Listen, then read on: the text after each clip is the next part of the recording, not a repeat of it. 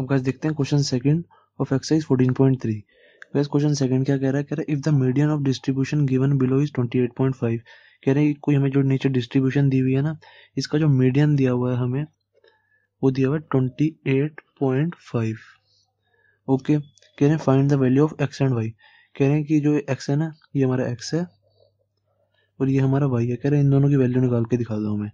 तो सबसे पहले जब भी गैस मीडियन दिखता है ना, मुझे जब भी मीडियन दिखा होता है तो सबसे पहले मैं क्या काम करता हूँ? मीडियन का फॉर्मूला लिखता हूँ। मैं आपको बताता हूँ कि मैं कैसे क्वेश्चन करता हूँ। ठीक है? मीडियन का फॉर्मूला क्या होता है? L plus n by two minus c f upon में एफ़ इंटू में एच ओके सबसे पहले मैं मीडियन का फॉर्मूला लिखता हूँ और मीडियन में मुझे सबसे पहले क्या चाहिए होता है? कम्युलेटिव फ्रीक्वेंसीज यहाँ पे। मीडियन निकालने के लिए मुझे सी एफ़ दिख गया यहाँ पे फॉर्मूले में तो सबसे पहले मुझे क्या चाहिए होती है? कम्युलेटिव फ्रीक्वेंसीज उसके बाद ही मैं और कोई काम स्टार्ट करता हूँ, ठीक है? तो सबसे पहले लिखेंगे हम यहाँ पे कम्युलेटिव फ्रीक्वेंसीज सी एफ़ तो कम्युलेटिव फ्रीक्वेंसीज कैसे निकालते हैं? मैंने आपको इससे पहले वाले क्वेश्चन में भी बताया हुआ अभी भी बता रहा हूँ। सबसे पहले क्या लिखते हैं हम? फ्रीक्वेंसी को ऐसे कैसे यहाँ पे फाइव लिख देते हैं। सबसे पहले वाली फ्रीक्वेंसी जो होती है ना, उसको ऐसे कैसे लिख देते हैं?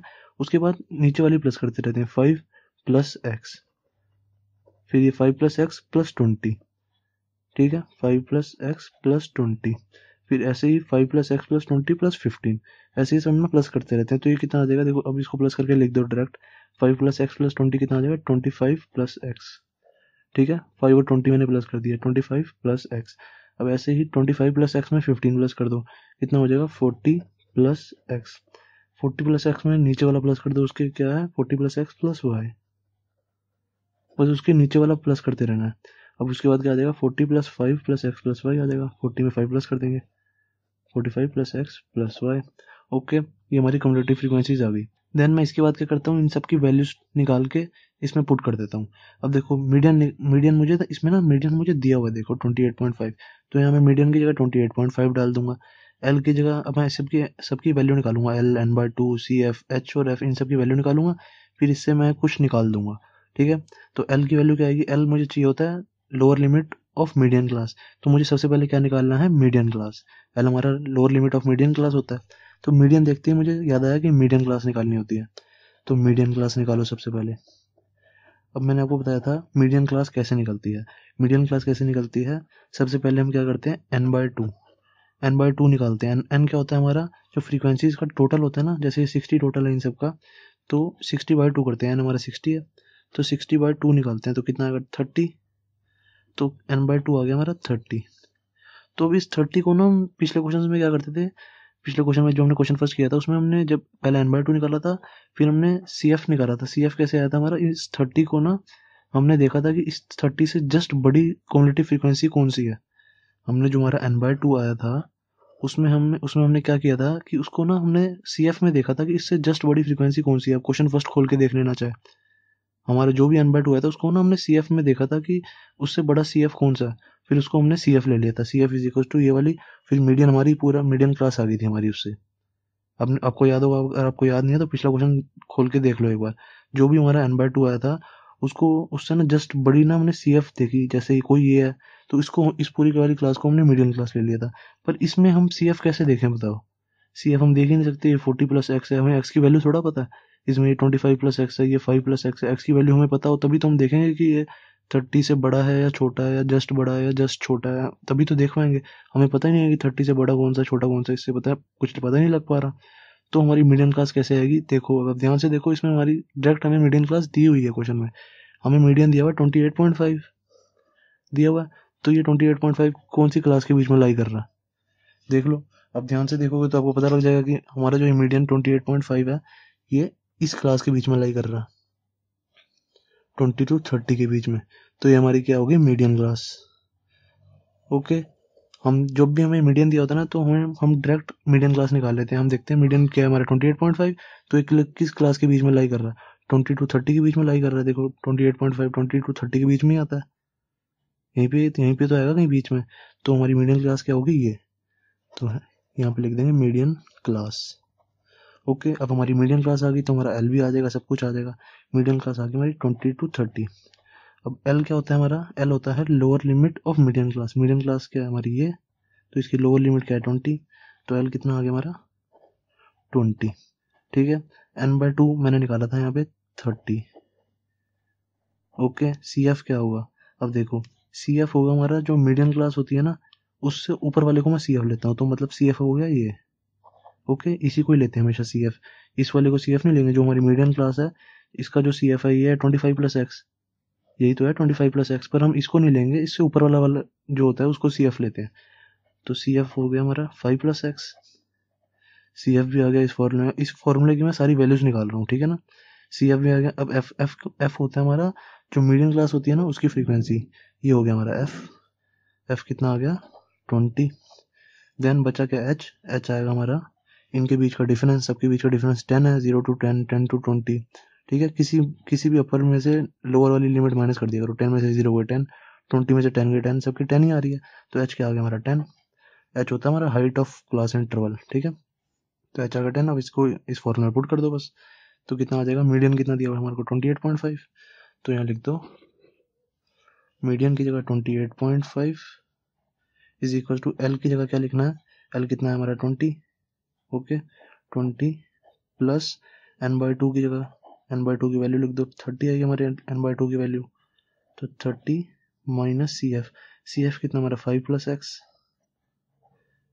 okay upon में एफ़ एफ़ कितना है हमारा? ट्वेंटी ट्वेंटी इंटू में एच एच हमारा टेन ओके, अब इसको सॉल्व कर दो। Twenty eight point five is equal to twenty plus thirty minus का फाइव, माइनस का एक्स, मैं ब्रैकेट खोल खोल रहा हूँ ना, ठीक है? फिर माइनस का पूरा पूरी ब्रैकेट में मल्टीप्लाई हो जाएगा।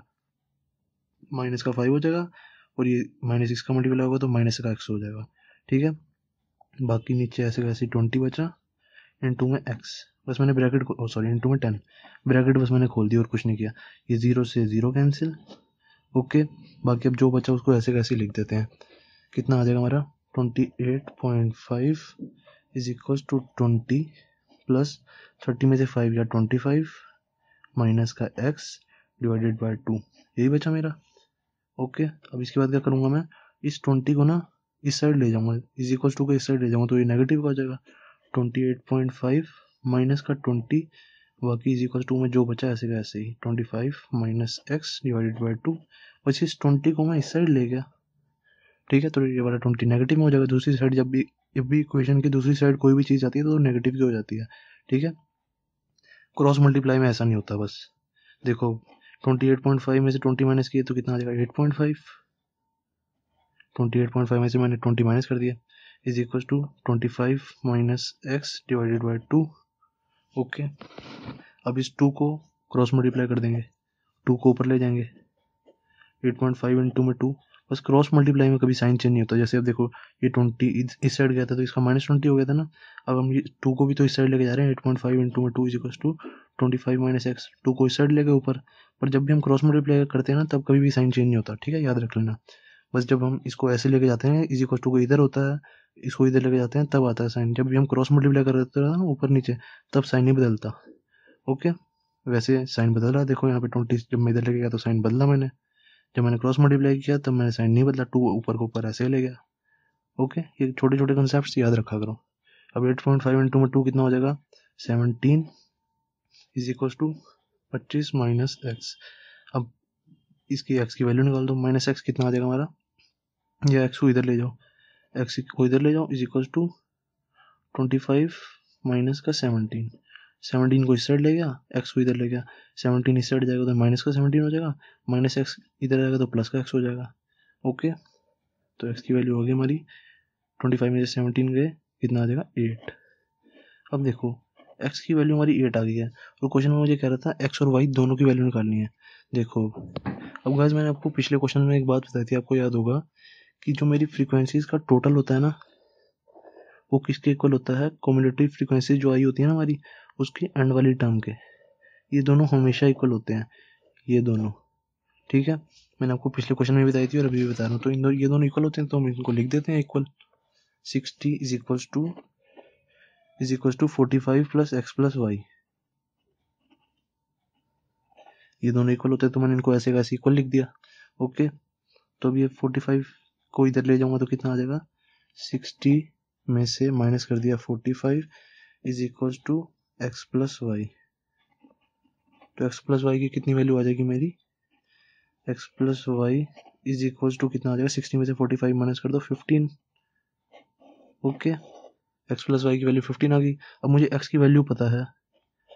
और एक्स की वैल्यू इधर डाल दो तो हमारी वाई की वैल्यू आ जाएगी। एक्स की वैल्यू इधर एट डाल दो ना eight plus y is equal to fifteen तो वाई कितना आ जाएगा हमारा? वाई आ गया।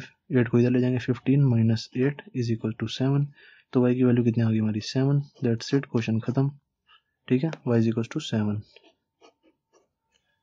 तो x is equal to eight आ गया और y is equal to seven आ गया. क्वेश्चन खत्म. ठीक है? ऐसे करते हैं क्वेश्चन ये. That's it